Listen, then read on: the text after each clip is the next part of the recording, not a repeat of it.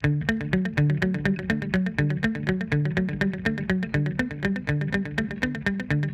hear over and over again as we do recruiting, people come here in large part because of the incredible work ethic that we have here in the state. And you'll see that. It's a competitive advantage. Uh, and also our pro business, pro growth policies. We're making Montana more attractive to people to invest and create jobs here.